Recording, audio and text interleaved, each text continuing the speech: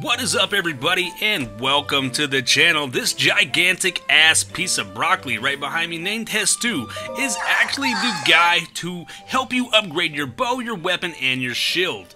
If you guys are having a hard time finding him, I'm going to leave that link right there above. Go ahead and hit that if you guys want to find him. But whenever you're here, you actually drop Korok seeds. Every time you actually spin, let's go to the shield real quick. If we go to the shield and we actually spend it right here, we have seven Korok seeds up there at the top right. It's going to cost us two.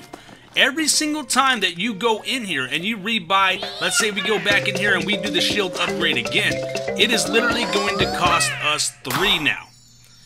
So every time you do it, it's another Korok seed.